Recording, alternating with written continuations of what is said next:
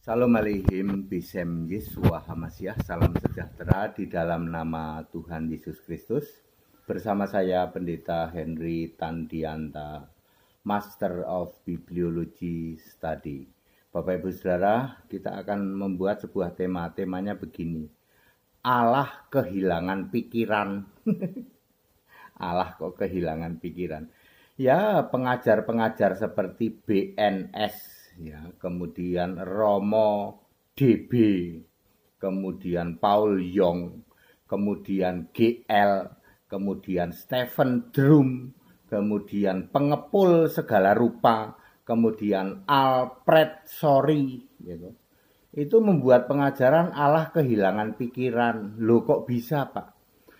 Ya mereka para pendeta-pendeta ini dan romo-romo ini mengibaratkan Allah itu seperti manusia. Ada tubuh, ada jiwa atau pikiran, ada roh. Jiwa, pikiran, perkataan itu kan satu. Mereka selalu mengatakan, loh kalau saya berkata-kata, itu kata-kata itu mewakili saya atau bukan? Iya, itu sebabnya. Firman itu mewakili pikiran Allah itu kata BNS, GL, pengepul segala rupa, Alfred, sorry, Stephen Drum, ya, dan lain-lain. ya. Allah itu punya tubuh yang disebut Bapa, lalu punya pikiran yang disebut firman, lalu punya roh. Jadi Allah itu seperti manusia, punya tubuh, punya pikiran atau firman, lalu punya roh. Nah ini dia yang bikin ngakak para ayam, ayam pun ngakak, unta ngakak. Anda tahu nggak kalau unta itu ketawa? Unta itu kalau ketawa, kuak kuak kuak kuak kuak, bahlul kamu, gitu ya, gitu ya. ya. Jadi kata orang-orang seperti BNS, Romo DB, ya toh. Romo jigrak, Romo rambut bundet, ya toh Romo Bindeng, Romo Pelo itu akan ya eh, pengepul segala rupa, pokoknya segala rupa dipul aja iya. Stephen Drum. ya.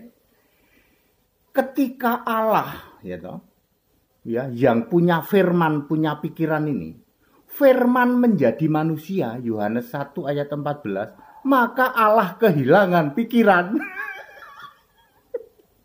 Allah kok kehilangan pikiran lo bayangin saudara. Firman jadi manusia, maka Allah kehilangan pikiran kan firman itu pikirannya Allah, perkataan Allah. Astagfirullah. Ini pendeta-pendeta ini pada sekolah 12 tahun, sekolah 9 tahun ya. Benar-benar ya tuh. Tidak dibuka mengerti kitab suci Lukas 24 ayat 45, satu-satunya yang membuka pikiran mengerti kitab suci adalah Yesus. Makanya harus sembah Yesus. Nih contohnya HTD. Sekolah nggak seberapa, cuman master bibliologi. Aku pernah jadi sarjana bibliologi, lalu jadi master bibliologi. Master Alkitab bukan master teologi. Ngerti ya? ya mereka menganggap Allah itu pribadi ada tiga yaitu Bapa sebagai fisik lalu pikirannya ini firman ini adalah pribadi kedua lalu pribadi ketiga itu roh ketika kejadian satu ayat dua roh Allah melayang-layang ya maka Allah kehilangan rohnya katanya Allah itu punya roh ya lah kalau rohnya melayang-layang berarti Allah sedang kehilangan rohnya mati Lo orang kalau kehilangan rohnya kan mati. Kejadian 1 ayat 2. Roh Allah melayang-layang di samudra raya ya. Ya. Terus berarti roh Allah sedang mati di surga ya. Jadi tubuh tubuh ini sebagai Bapa itu e, tempatnya di surga. Lah Bapa itu punya roh dan punya firman. Ketika firman jadi manusia, Allah yang di surga kehilangan pikiran. Ketika roh Allah melayang-layang, Allah yang di surga mati. Wah, kebangetan itu ya. Ya, sekolah 12 tahun, sekolah 9 tahun. Ya. Lalu Allah kehilangan pikiran, Anda bayangin aja coba ya. Allah menjadi manusia. Pikirannya Allah hilang, berarti Allah di surga kehilangan pikiran. Loh, orang itu kalau kehilangan pikiran apa? bahasa bahasa Jermannya ora waras. Ya. Silakan ditranslate. Jadi kalau Allah itu kehilangan pikiran, bahasa Jermannya itu Allah itu ora waras. Lah kehilangan pikiran? Lalu dicari ditranslate ya. Uh, di bahasa Jerman ora waras, translate-nya asem kui gitu. Jadi Allahnya BNS, Allahnya Romo DB itu pernah kehilangan pikiran karena pikirannya sedang jadi manusia. Lalu juga pernah kehilangan roh, pernah mati juga. Lah rohnya sedang melayang-layang. Lalu di surga ya cuma tubuh doang, bapak doang. Kebangetan nih wes wes ya. Ya, yang benar adalah Allah itu roh, bukan mempunyai roh. Salah ya, bukan Allah itu mempunyai roh, bukan. Firman adalah Allah.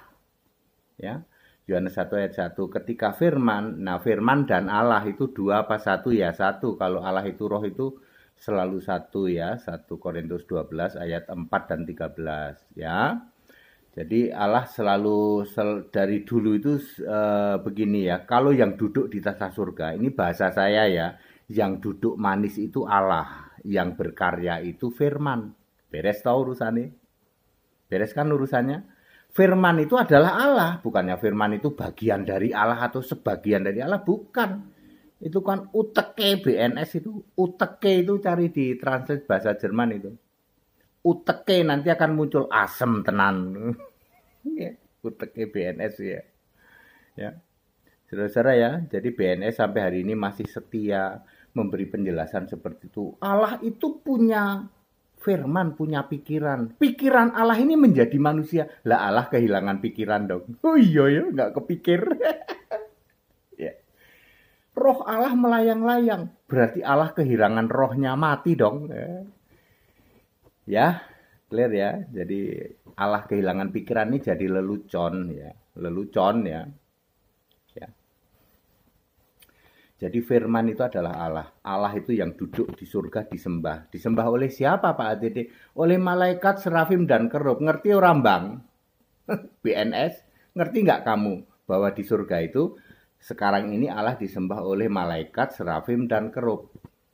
Ya, sedangkan orang-orang yang mati belum ada di surga, masih ada di Firdaus. Jadi di, di surga itu cuma ada 66,6 miliar malaikat, satu juta kerub, dan empat serafim. Itu yang menyembah Allah. Lah orang yang mati Pak belum masih ada di Firdaus. Jadi cuma tiga itu Pak betul. Nggak ada bidadari Pak nggak ada. Ya. Ya, yang bersayap itu serafim sama kerub. Kok tahu Pak jumlahnya malaikat 66,6 miliar Pak. Sekolah ke sini Bang, sekolah ke sini. Ya, GL sekolah ke sini. Ya jangan sekolah teologi ya kamu nggak ngerti. Sekolah Alkitab ya. Alfred sorry ya. Pengepul segala rupa. Stephen Drum kamu tahu nggak bahwa jumlah malaikat itu 66,6 miliar ayat Alkitab loh nggak main-main. Bahwa jumlah kerub itu satu juta. Ini ayat Alkitab bukan asal. Sekolah ke sini. Ya. Ya lalu firman itu yang berkarya. Semua itu yang berkarya itu firman. Firman itu sebelum bumi bulat ya. Yesaya 44 ayat Yesaya 44 apa 40 ya? Ayat 22 Allah Allah apa Allah bertahta di atas bulatan bumi coba dicari ya kalau tidak Yesaya 40 ayat 22 ya Yesaya 44 ayat 22 Allah bertahta di atas bulatan bumi. Sebelum bumi ini jadi bulat, tak kasih tahu yang pertama diciptakan itu malaikat, serafim, dan kerub, tahta surga, surga, pemerintahan surga. Lalu bumi belum berbentuk dan samudera raya. Siapa yang menciptakan Yesus? Itu Yesus yang menciptakan. Berarti Yesus itu sejak sebelum segala abad. Betul. Nama Yesus itu Allah itu dari dulu namanya sudah Yesus. Tetapi dinyatakan ketika firman yang Allah yang berkarya ini jadi manusia. Ketika firman jadi manusia namanya Yesus, maka di surga ada Allah namanya Yesus. Lambok sampai nungging BNS nggak paham. pas apa Romo DB nggak akan paham ketika Allah menjadi manusia yaitu firman menjadi manusia namanya Yesus. Di surga tetap ada Allah namanya Yesus. Sampai tuwek kamu nggak akan paham. Sampai tuwek sampai mate GL kamu paham? Gede doang suaranya. Haleluya. Paul Yong kamu anak iblis. Cuman bisa ngomong gitu doang. Paul Yong balas kamu orang Farisi? Nggak tahunya iblis sama Farisi sama-sama. Keturunan ular. Ya. Alfred sorry kamu tahu nggak? Ketika firman yaitu Allah menjadi manusia namanya Yesus di surga Allah juga namanya Yesus.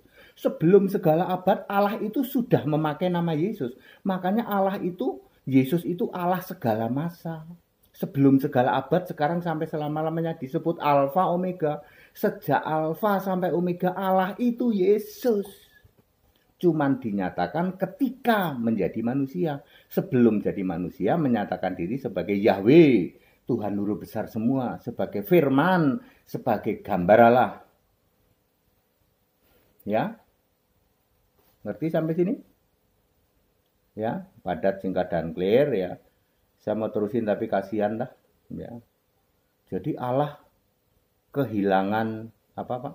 Pikiran. Nah, iya, itu ajarannya BNS. Ya. Bantah kalau bisa sini ya.